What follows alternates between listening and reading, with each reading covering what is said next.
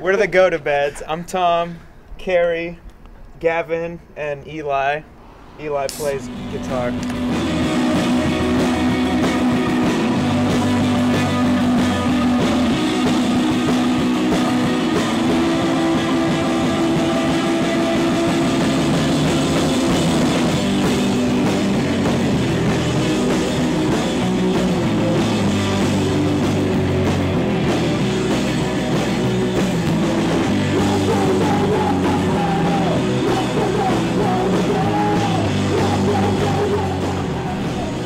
Why are we so great live? Is that what you asked? Um, the reason why I played in a lot of bands where people want to try to get the song like as tight as possible and like I feel like there's like once you get that rigorous, it doesn't leave a lot of room for spontaneity or excitement. I know Carrie and I love the replacements, and we would always joke that like we wanted to be like the replacements had their early like hardcore phase. We want to be like their early punk phase. They had a like great time where like you could see a show and somebody would be drunk off their ass, like knocking a curtain over. They could play a bunch of covers that didn't make sense in like a punk context. This bunch of guys like all just wants to have a really good time and hopefully play the songs mostly right, but at the same time like there's somewhat of a chaotic element that we hope makes it fun because I mean that's what makes watching a band fun for me. Yeah, Kim Phuc was just a bunch of friends. We just formed a punk band while we were still doing Kim Phuc. I was like kind of wanted to start something else. I had some songs that I wrote that didn't really pan out for that band. So Carrie and I started playing almost four years ago. I lost my job and we just started playing together then, just the two of us. We were acquaintances for years and eventually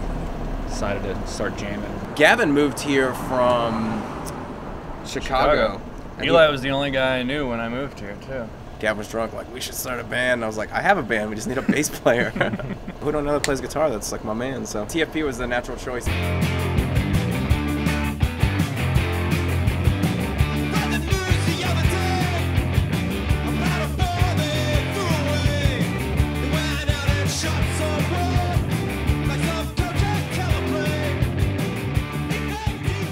Classic Australian punk song, uh, Television Addict by the Victims.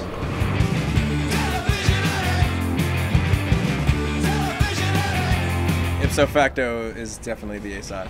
TFP really came up with most of the riffs in that song, which is great because I love the fact that, you know, just when you trust someone enough to come up with something that you're gonna love and everyone just jammed on it.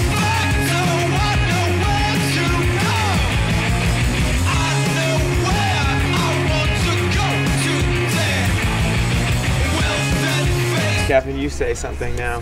Doesn't matter if you're listening to it or playing it or whatever. If you feel totally fucking rad when you're hearing a song, then that's you don't have to. You shouldn't have to work to have a good time listening to music. Just feel like a fucking badass. We're out of beer. We're out of beer. The beer bag is out of beer.